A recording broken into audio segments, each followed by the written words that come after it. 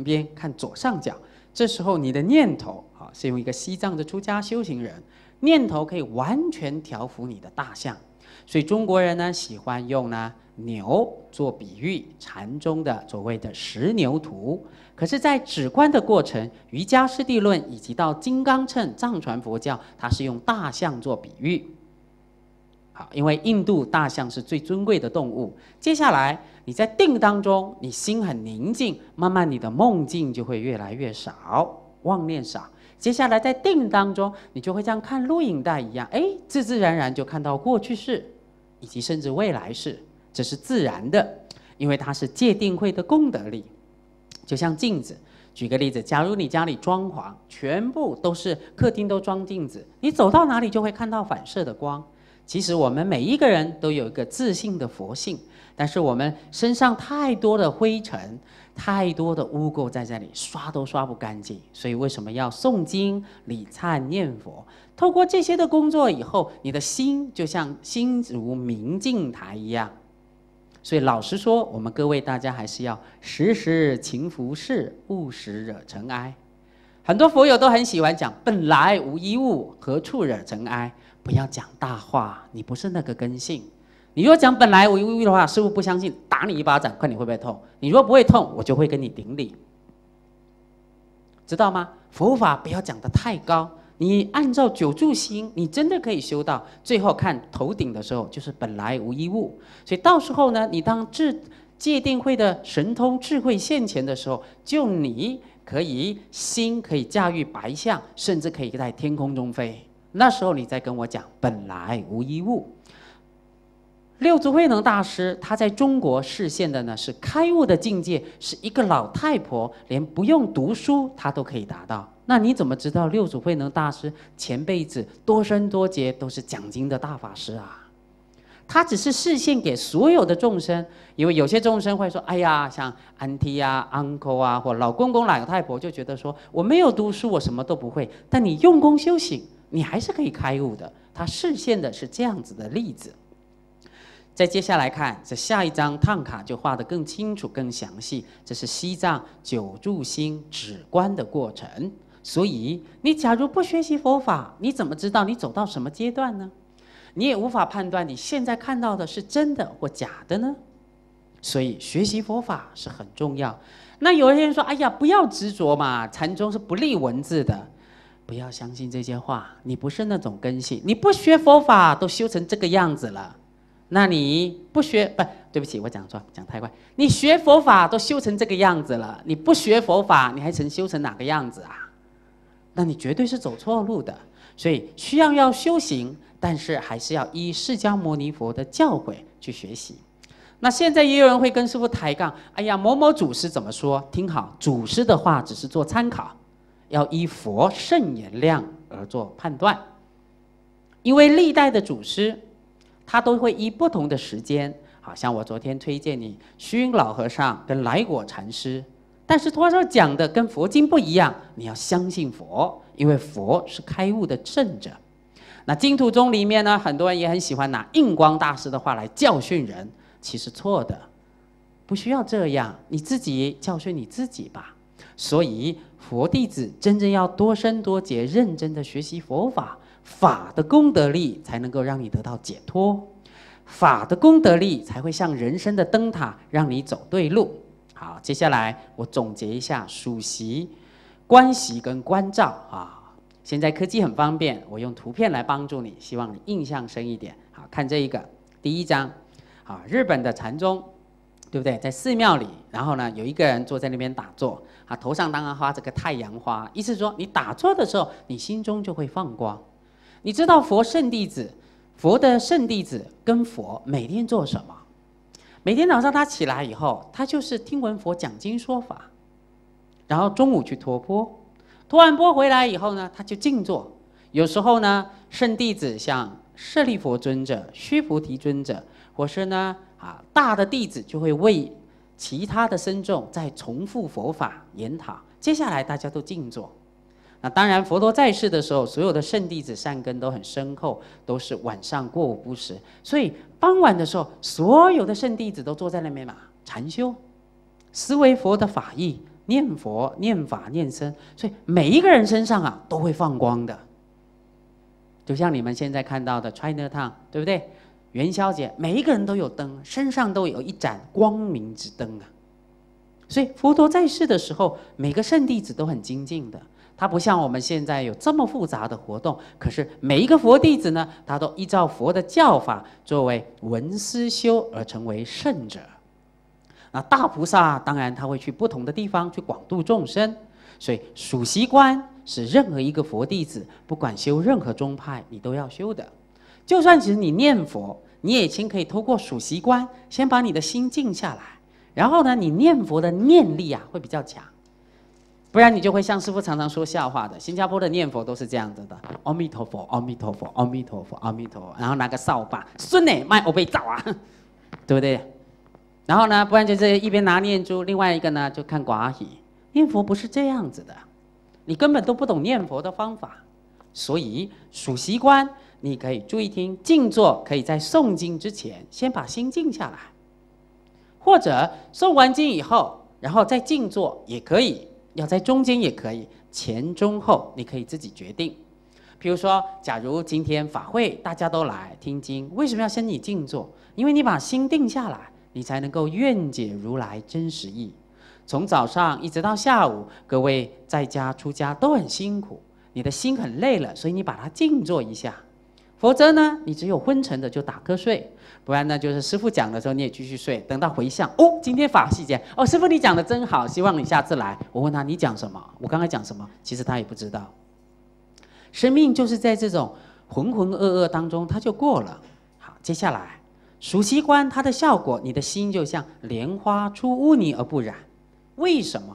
因为这个污泥代表我们贪嗔痴的烦恼，代表我们心中的烦恼。也代表外在五欲六尘的诱惑。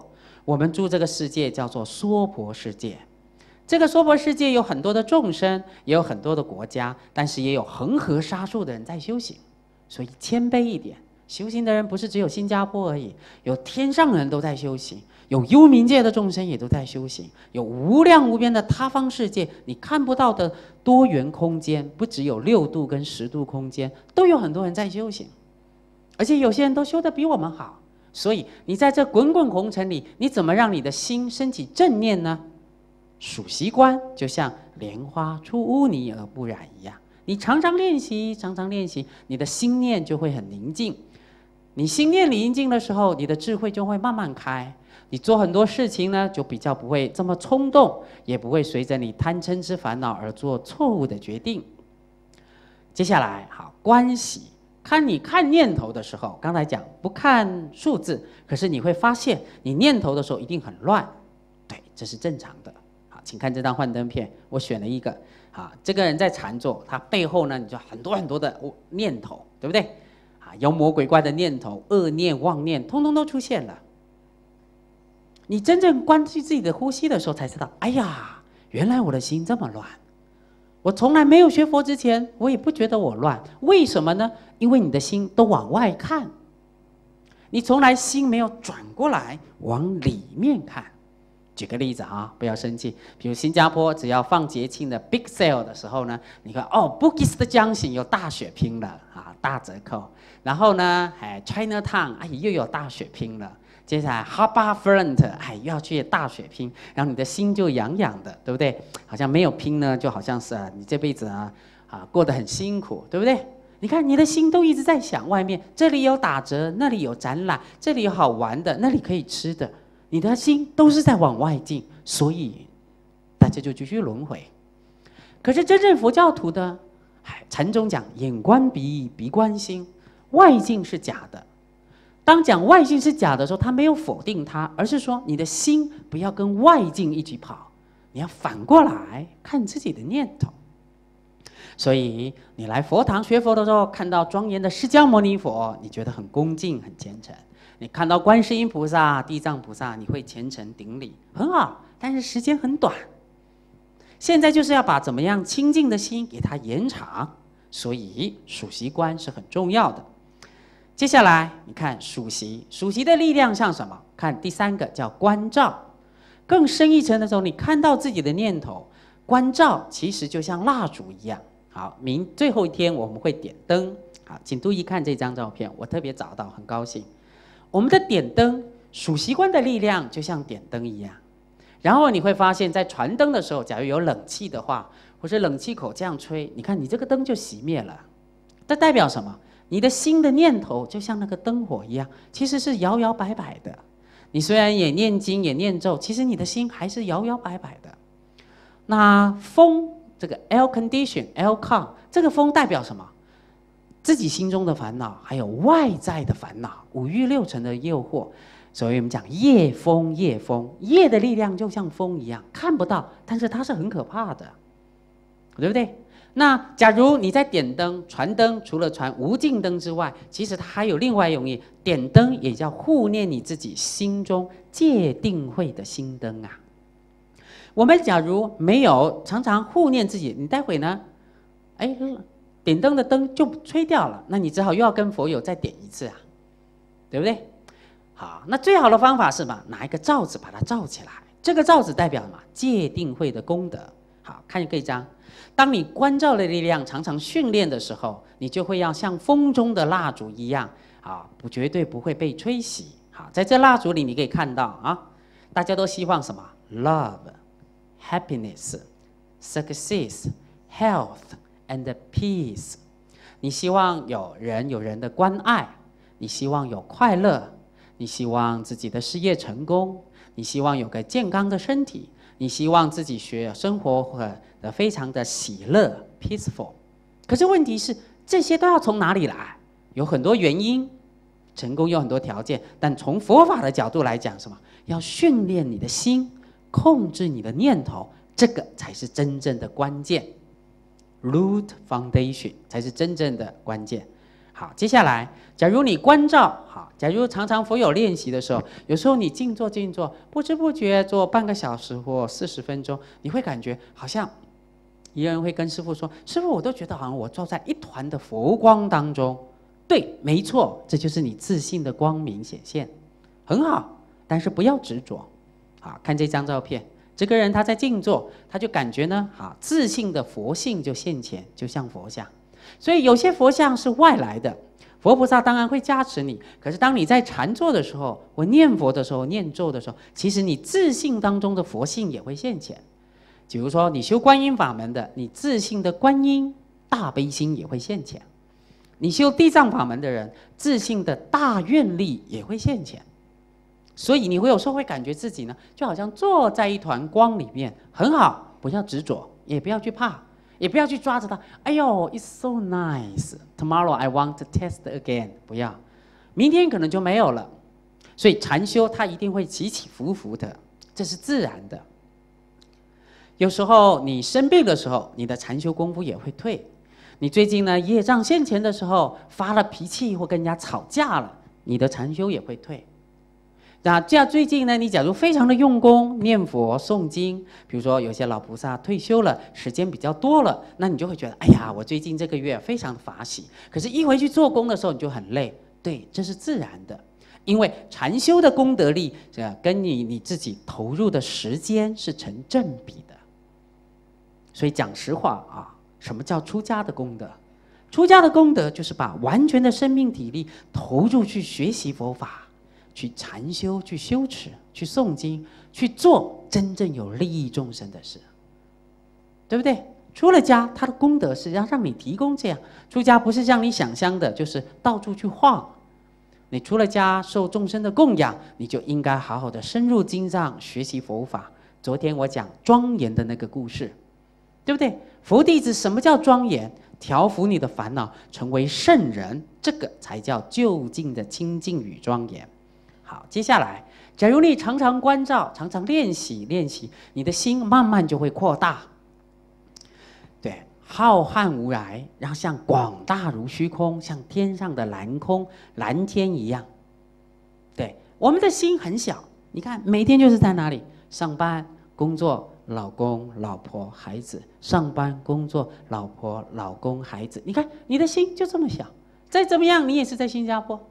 可是真正修行的人。他心量慢慢扩大的时候，他会想到整个无量的法界，这个世界也不是只有地球有众生啊，有无量无边的星球，有无量无边的众生啊，所以才苦口婆心劝新加坡人要念普贤行愿品。因为为什么呢？他一念的时候就是尽虚空遍法界十方三世一切的佛国土，你的心量就会扩大。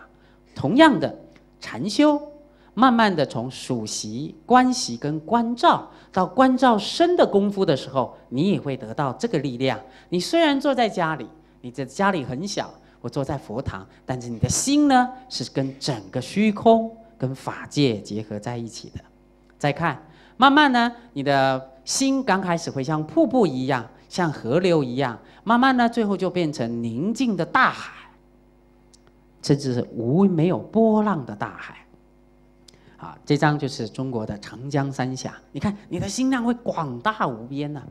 对不对？这时候你就会发起广大的愿力，什么愿力呢？一，生命很短，我要精进修持；二，众生很苦，我要尽心尽力的去帮助他；第三，你就会真正的护持佛法，弘扬佛法，在家出家都要同共一起发心。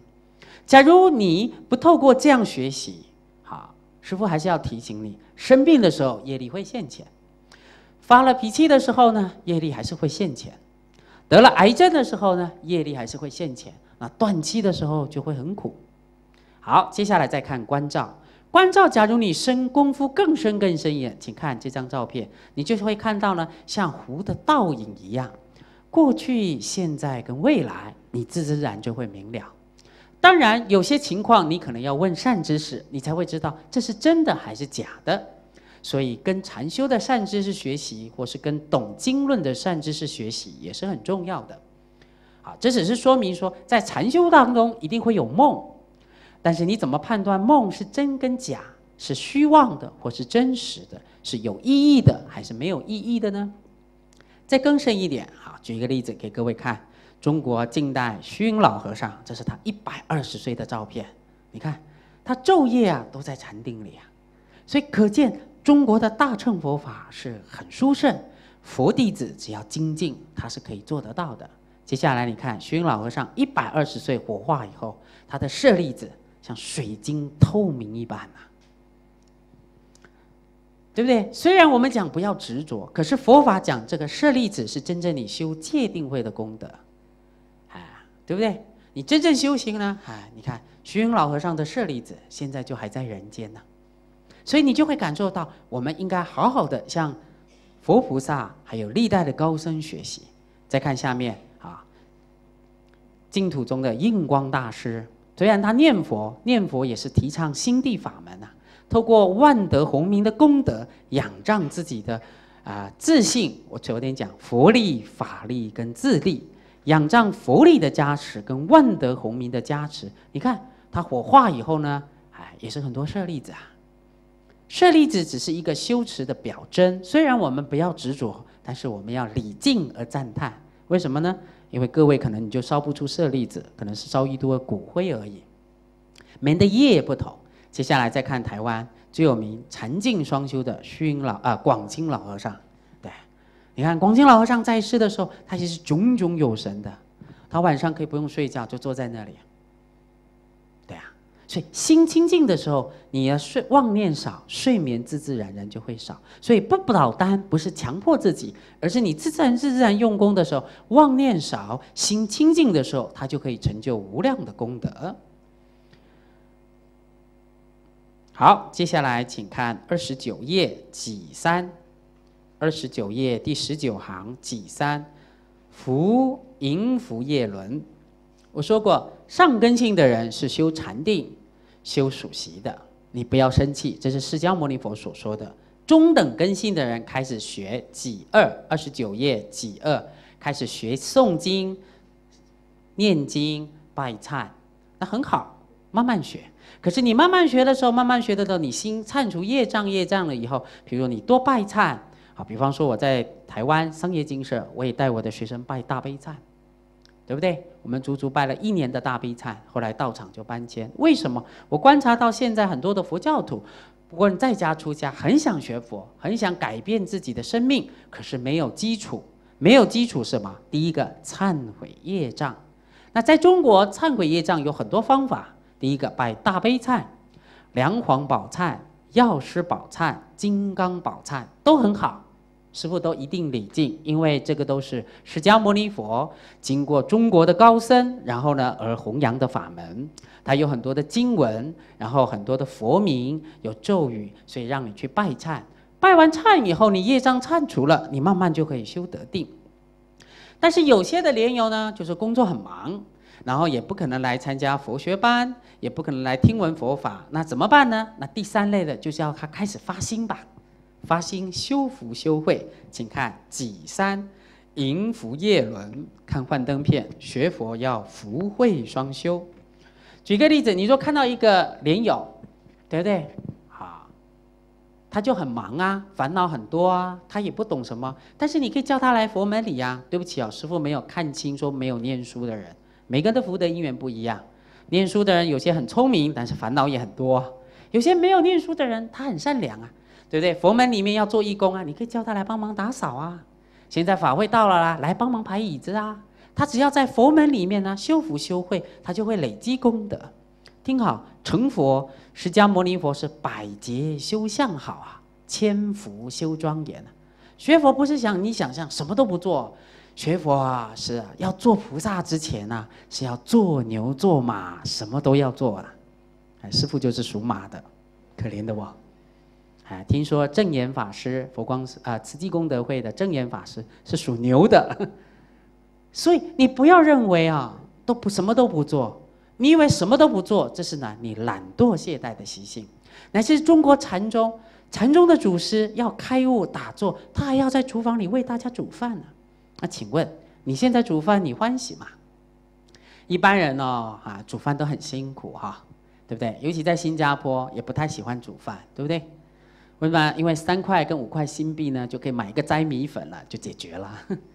在家里你煮饭，你是煮给家人吃，当然你作为太太或是家人啊，你孝顺家人的责任这是很好，应该做的。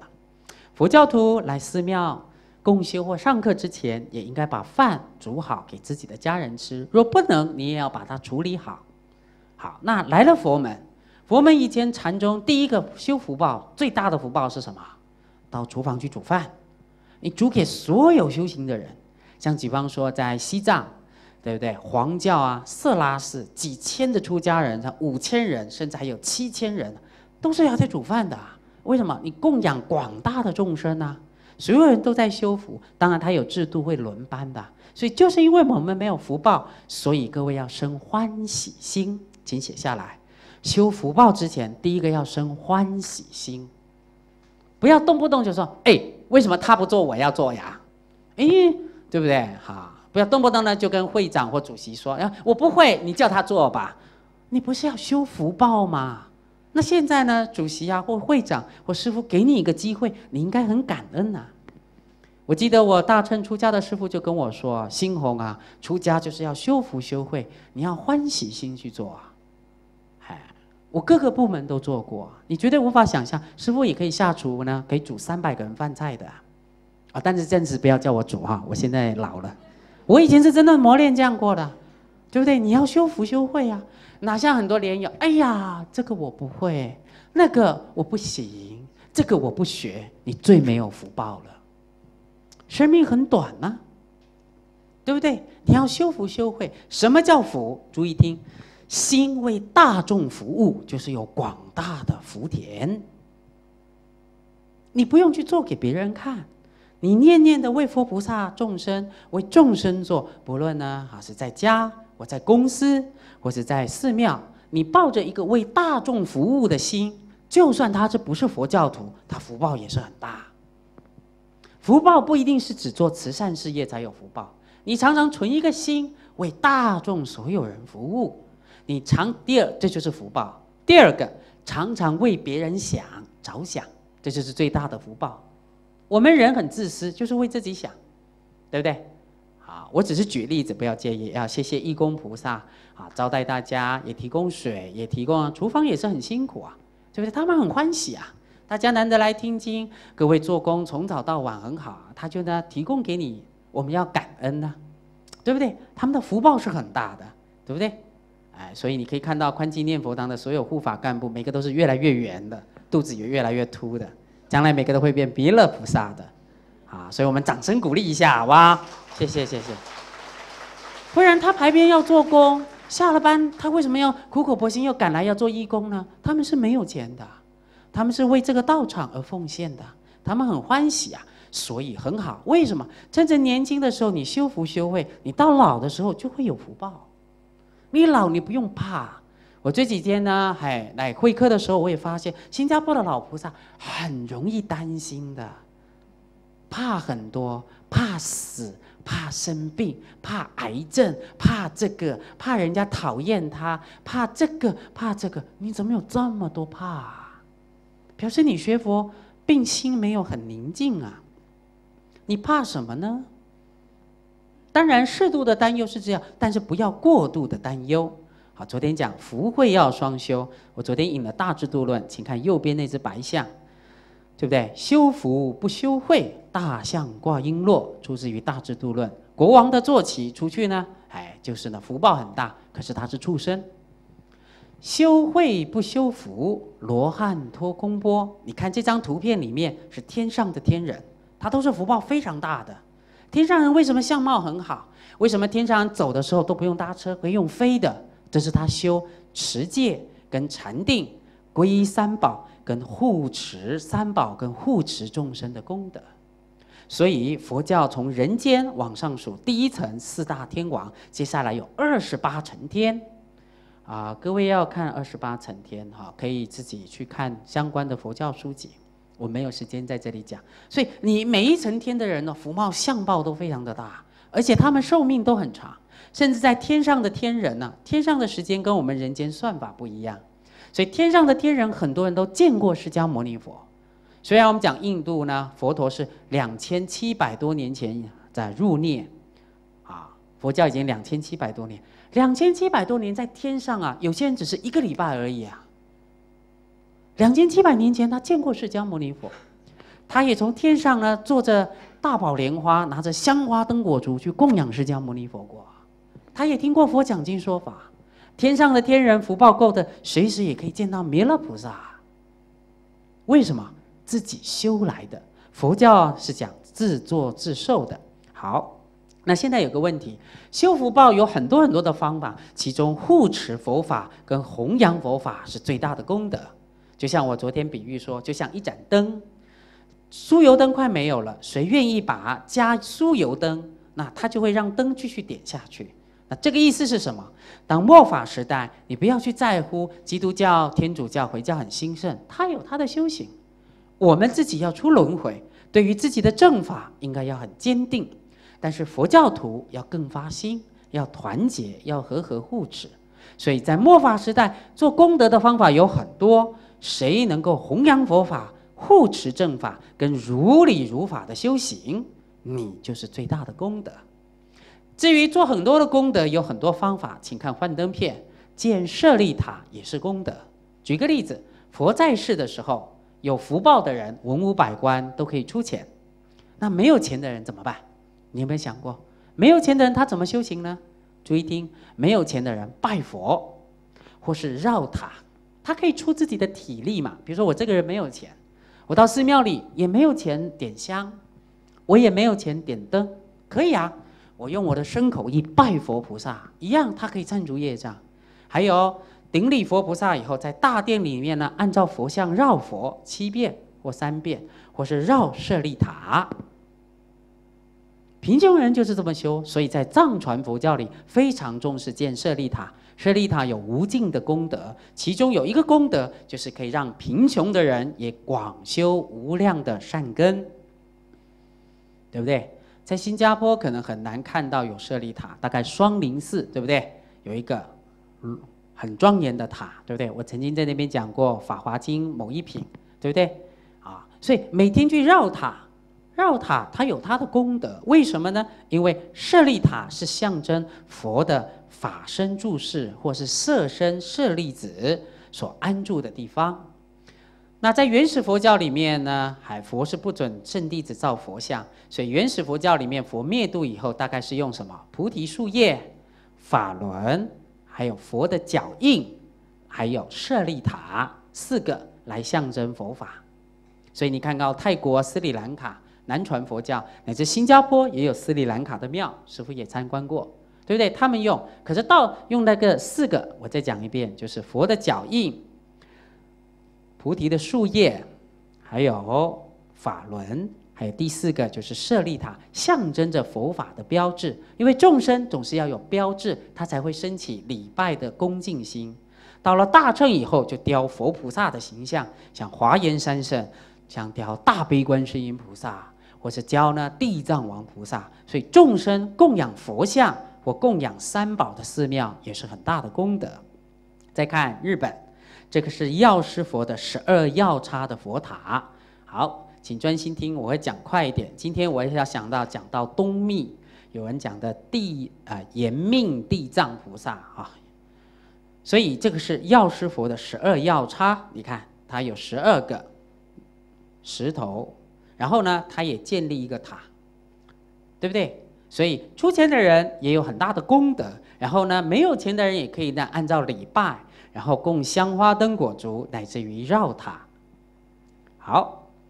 所以己三迎福叶轮，请看更一，请看二十九页第二十行，善巧劝化劣根的众生。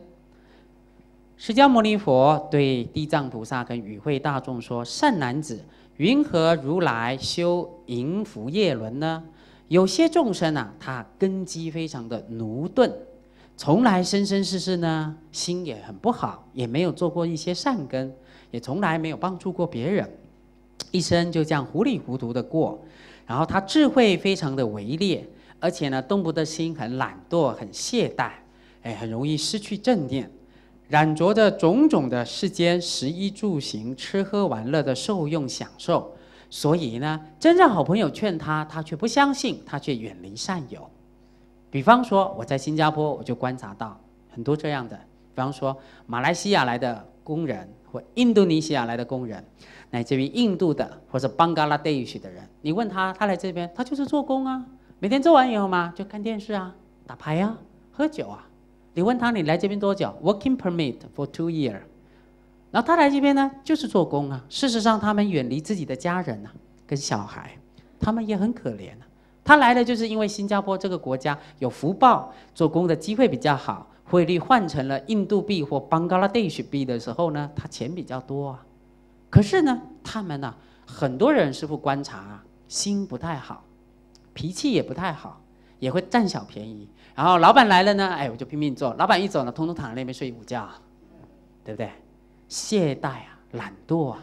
然后呢，真正有利益的时候，他会撒谎，也会欺骗你，也会呢占小便宜呀。你看这些众生呢，就是。根基愚钝啊，没有种善根。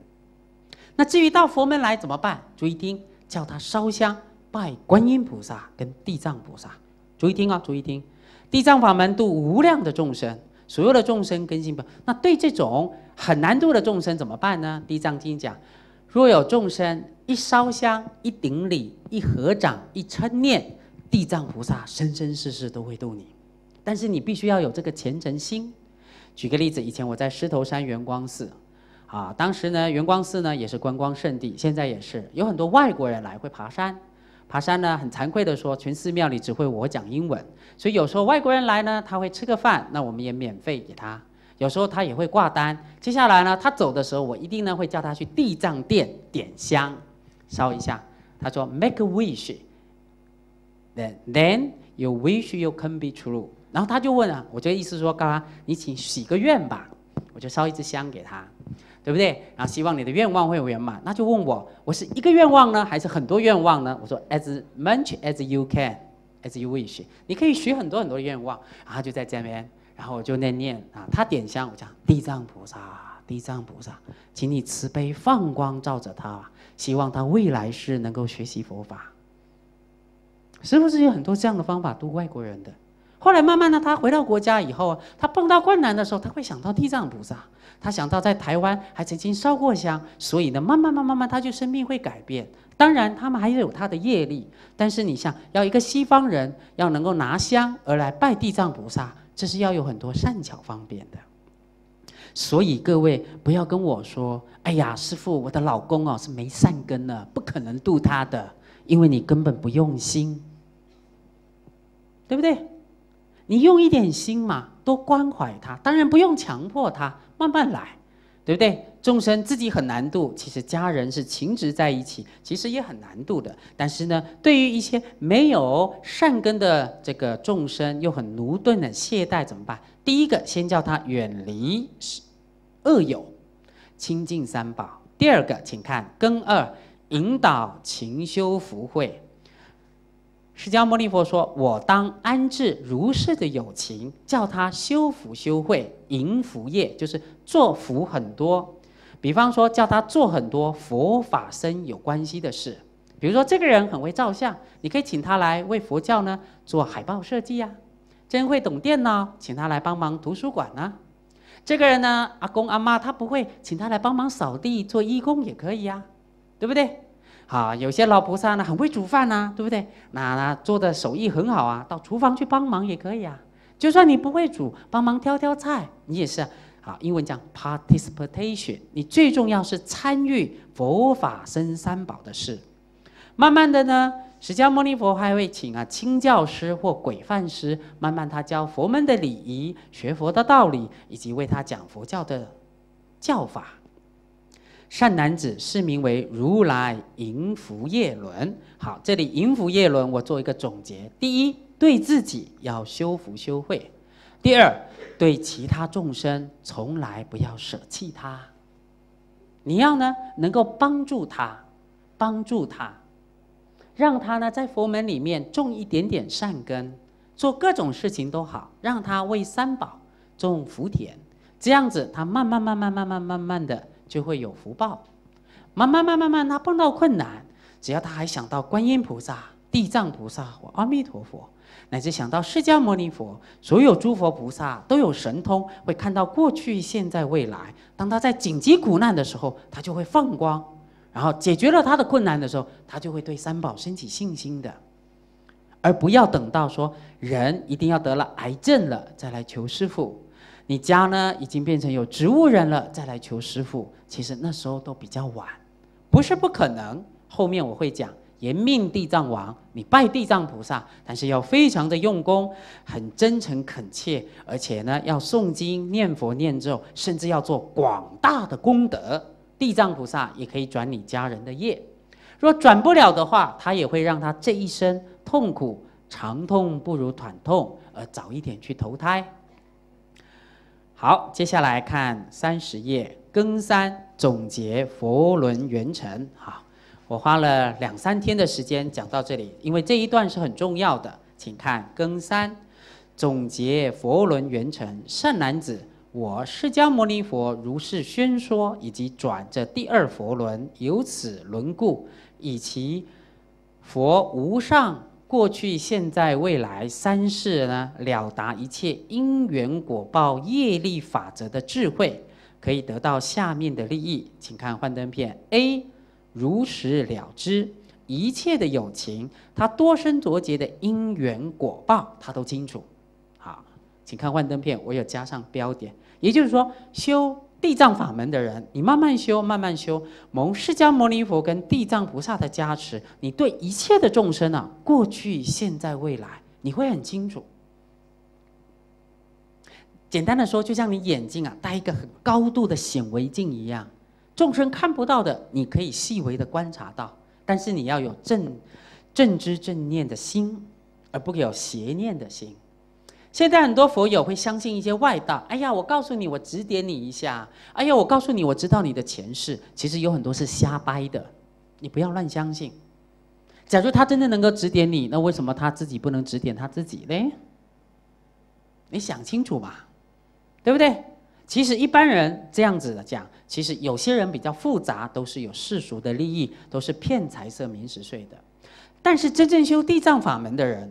或是呢，真的如理如法的佛弟子，尤其是念地藏圣号的，注意听，特别呢，对于因缘果报会非常清楚，对自己的因缘果报可以透过梦境去了解，对别人的因缘果报，他也可以透过呢禅定力而去了解。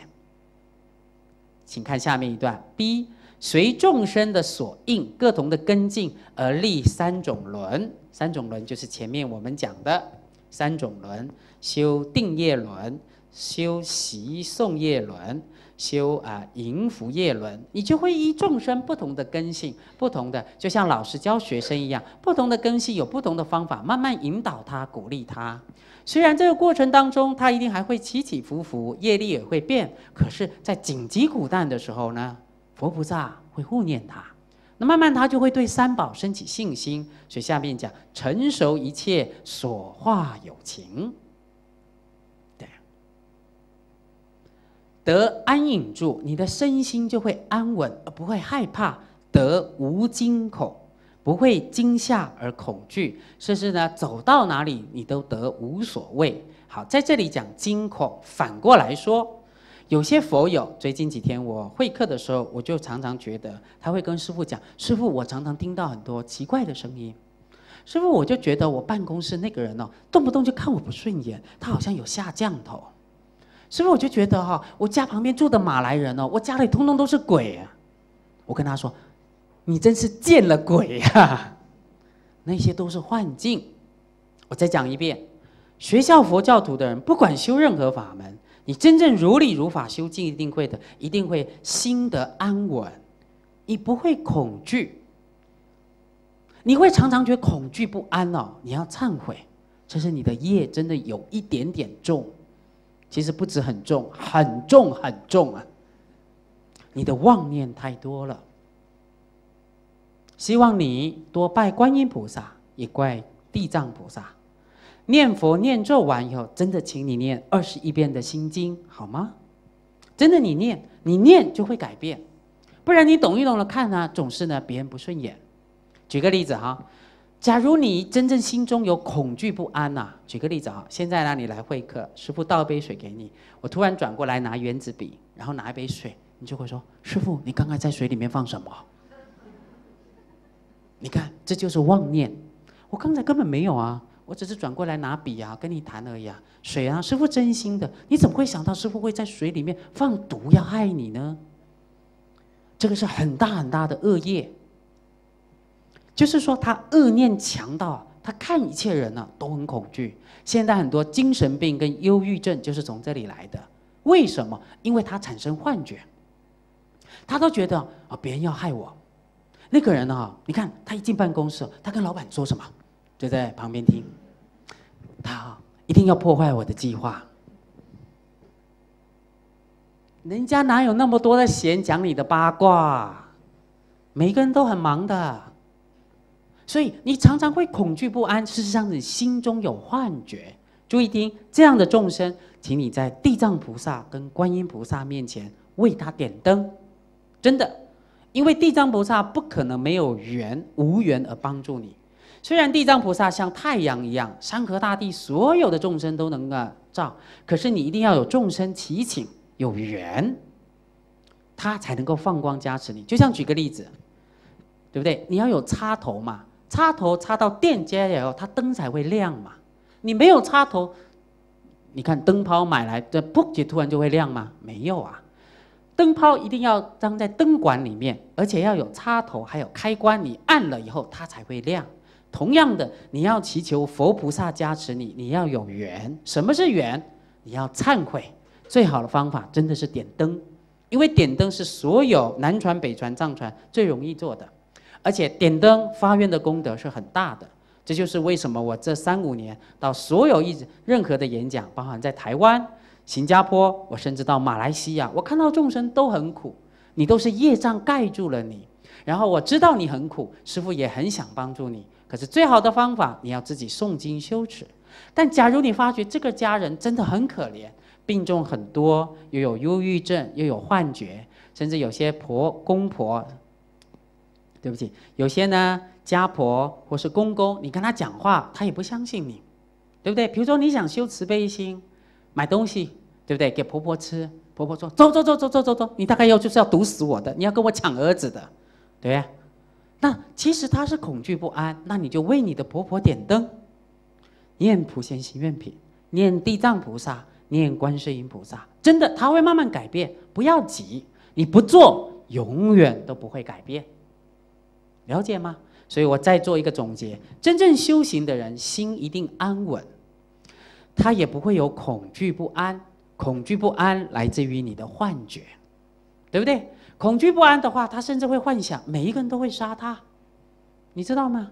现在人真的很可怕，对不对？家里厨房里面都有刀吧，都有菜刀啊。所以，如果一个人发飙的时候，你知道你最怕什么？你知道把刀藏起来，因为你不知道他随时半夜呢，哎，不知道他会不会呢，就这样 站在你的床旁边，那很恐怖的，对不对？是不是？你不用去怕。碰到苦难，你就念地藏菩萨，念观音菩萨，为自己也为你周遭苦难的众生而做，好，这是很重要的。希望各位真心为自己的家人而为他做这样子的功德。接下来，西，请看幻灯片。真正修地藏法门的呢，可以降魔外道，吹诸天魔外道邪论，所以他不会走错路。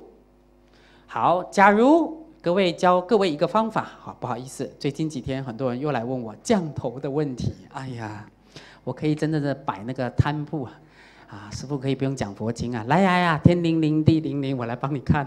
不是这样子的，没有错，这个问题很复杂，在我觉得很奇怪啊，师傅先不要生气。我发觉在新加坡、马来西亚跟印度尼西亚这三个国家特别多，香港也有。台湾也有，但比较少，因为台湾佛法很兴盛。台湾当然也有道教，也有民间宗教，但我发觉新加坡的人常常都会有这种困扰。什么困扰呢？同在一条街，啊，他卖玻璃，我也卖玻璃，他生意呢不太好，我的生意很好，然后人家就不高兴，然后呢就会呢想要破坏你，人都会有嫉妒心的，就会说，哎，就会说像降头。像今天呢，有几个呢也会问师傅，你看我有没有？我有没有？我说你有什么？啊师傅觉得哈，好像很多人要害我嘞。我说你长得这么庄严，这么安全，没人会害你的，是不是？他总觉得很多人对他下降头，其实这个也是幻觉。那降头是不是有呢？答案真的有。降头因缘果，其实老实说，做降头的人将来都会堕地狱、恶鬼跟畜生的。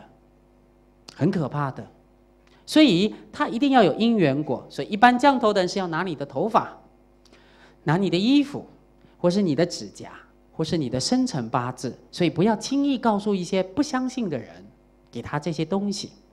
尤其呢，人与人之间为了争男朋友跟女朋友也用降头，其实这些都是不好的。那甚至呢，婆媳之间呢，为了抢一个儿子，两个人呢也找不同家的降头一起降，那是更愚痴的。你为什么要做这些呢？好，那现在我们是一个正信佛弟子，注意听，你真正的皈依三宝，三宝有三皈依五戒的戒体，你就不会碰到这个。对，它真的不会有作用的。你念观世音菩萨或念地藏菩萨，力量会很大，因为佛的力量一定大过于魔。注意听，不可以生嗔恨心跟报复心哦。比如说，人家要下降头。然后呢，我就念嗡嘛呢叭咪，轰轰轰轰轰轰，然后把它报复回去。不是，你应该要讲讲，哎呀，他就好可怜嘛，生意做不过赢我嘛，对不对？那还要去下降头，其实他很可怜。你要升起慈悲心，观音菩萨，请你加持我，我希望不要受伤，同时我也希望他早一点觉悟。你应该对下降头人升起慈悲心，慈悲三昧的力量会很大。他就不会对你有作用，对不对？是不是？所以不要去相议相议这些。我才觉得新加坡真的是这样，常常呢有很多人为了要发财，哎，他中马票了，我没中马票，他的生意比我好，然后就开始下降头。我跟你讲，下降头人将来都会堕地狱恶鬼畜生呢。我们要讲的要吓你，万岁万岁万万岁都在地狱里出不来的，你念观音菩萨也出不来的。为什么？因为你的业没有尽。你过去伤害众生的业，你要加上几百万倍甚至几千万倍去还的。所以，作为一个佛弟子，你心要正一点，不要怕，也不要有报复人的心，而应该生怜悯的心。你继续念观世音菩萨，继续念地藏菩萨，甚至假如你觉得你的邻居真的对你很不好，那没有关系，不要告诉他。邻居，你总知道他姓什么吧？比如姓王。王某某，就帮他点一盏灯吧，希望你头亮一点。你不用跟他讲，对，你是指真心的，因为你跟他讲，他会觉得，哎，你是佛教徒，你是不是对我做些什么？你会增加人家的怀疑，不需要，你就真心的。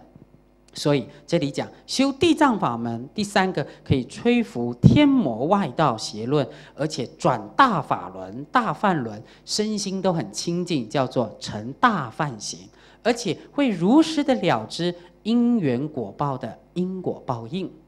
好，在这里我突然想到一个例子哈，一个佛友，你不要介意师父用你的例子做比喻，但我不会讲名字，只是希望用你的故事来鼓励大家。曾经在座有一个佛友跟我说，哎，他昨晚有一个十八岁的小孩，四年前突然跳楼自杀了。他这个孩子呢很孝顺，也很开朗，可是呢，他总觉得他跟我讲了一些他跳楼之前一些奇奇怪怪的现象，就半夜呢突然不睡觉，就站在窗户外面，然后呢在厨房就看到呢他是一半的鬼，好像不是脸，不是人。好，虽然这些不管真跟假，结果呢有一天晚上他突然就跳楼了。跳楼以后，他突然问我：“师傅怎么办？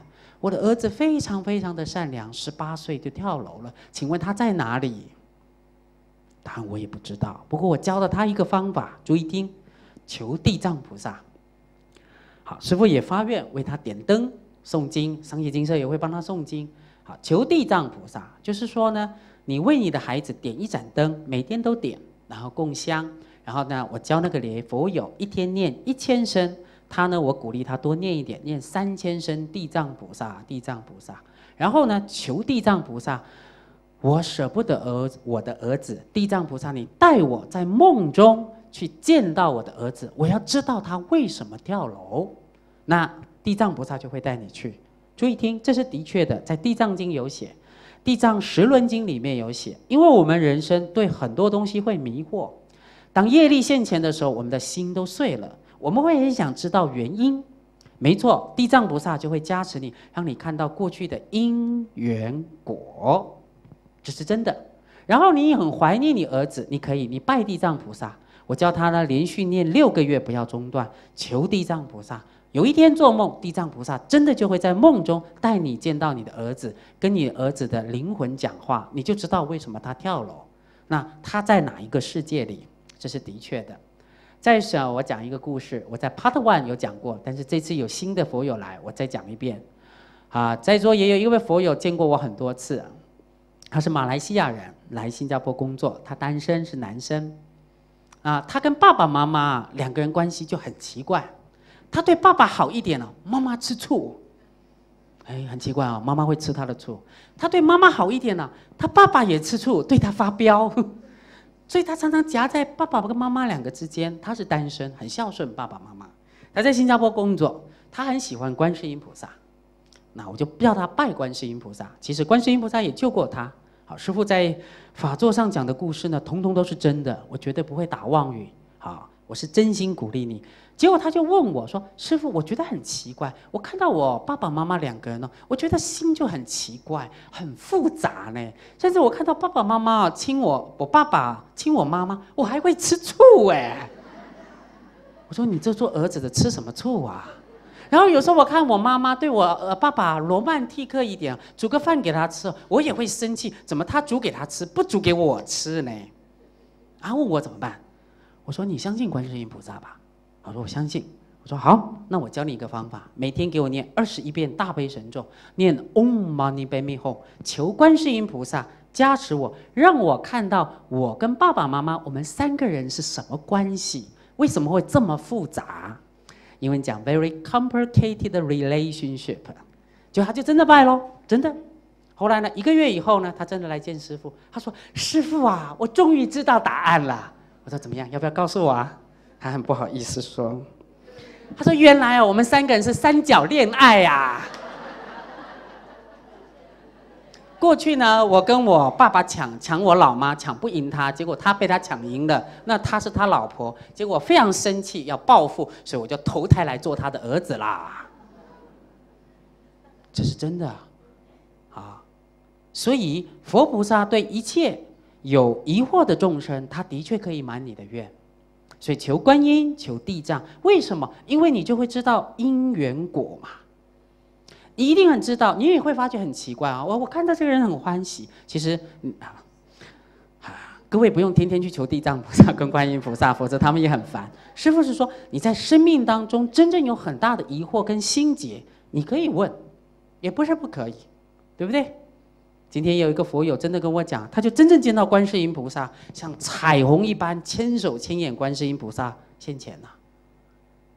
相信佛法，啊，不要急，不要急。讲这个故事是给你鼓励，啊，我不是像基督教了，来我们唱哈利路亚哦，然后呢，我们相信上帝，不是，是他真正的你用功，你因缘成熟的时候，众生会佛菩萨是会满你的愿的，对不对？你对生命中有很多的疑惑，有时候你会觉得很奇怪啊，我跟这个人呢就很有缘，像兄弟一样无话不谈呐。那个人呢，我看到他就不太顺眼嘞，甚至有个动的念头，我要呢。捅他一刀多好，真的我们会有这样的恶念，甚至呢，你看到人呢，那个人，哎呀，那个人很漂亮，哼，有什么了不起？要是我有钱，我也比他更庄严。其实搞不好你跟他呢，过去都抢同样一个男朋友的。所以，我们人的业力是很复杂，这种业力哈，这个好，请各位突然翻一下讲义最后一页，看七十八页。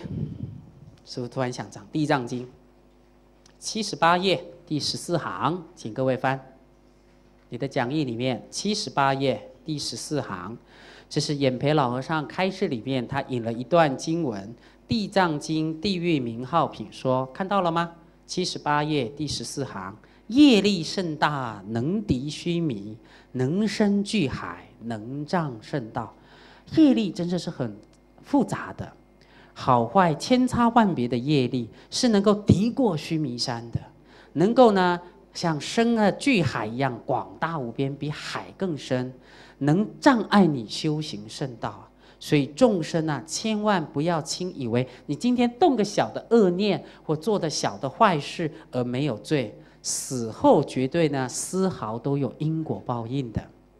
就算父子是亲人在一起。到时候死的时候是各走各人的路啊！你虽然孝顺你爸爸，可是你不能代替你爸爸带他的业。但是我刚才教你点灯、修行、发愿，这个可以慢慢慢慢转他的业。这段经文是说，纵使父子啊，再怎么样的亲人呐，在业力来业力现前的时候，这个人是狗，这个人的路啊，歧路个别。虽然你能够碰到做家人呢，可是呢，你是不可能带你爸爸的业，你的爸爸也不可能带你的业啊。所以，各位业力是很可怕的，对不对？接下来他又讲做人特别呢，不要认为不要造恶就可以，你还要广造善行。那在造恶里面，最大的是毁谤大乘佛法，绝对会堕三恶道的。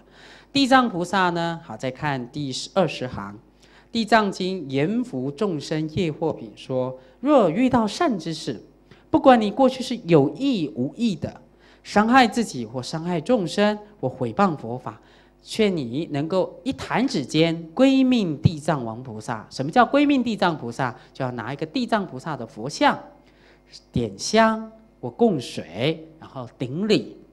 甚至你能够念地藏圣号跟地藏的咒语，是诸众生，他慢慢慢慢慢就因为你忏悔的力量，还有法的力量，还有地藏菩萨的愿力加持，你就会从三恶道里面得到解脱。所以各位，好，我们人与人之间都有很多千差万别、复杂的业力。如果你对业力真的很复杂而不了解的话，请你拜观世音菩萨，拜地藏菩萨。让你在梦中或禅定当中可以看到过去业未来的这个因缘果报。你看到了以后，我们讲解铃还须系铃人。你自己心有千千结，很多结打不开来，那你看到了之后，你就会放下。甚至呢，不客气的说，婆媳之间常常有很多的误会跟争斗，你也可以拜地藏菩萨。你就会看到，原来婆婆跟媳妇啊都是三角关系，抢同一个男人的，所以今天动不动就吃醋，动不动呢就不高兴。不但是这些身世这样，过去世也是如此。那假如你不修行，来生哦一投胎做人，三角关系只是换三个不同的身份，还是在一起的。一个当老板，一个当秘书，另外一个呢当啊哎财务。结果秘书跟财务呢，还是为了一个老板，两个人争风而吃醋的。人就是这样啊，所以业力是很可怕的。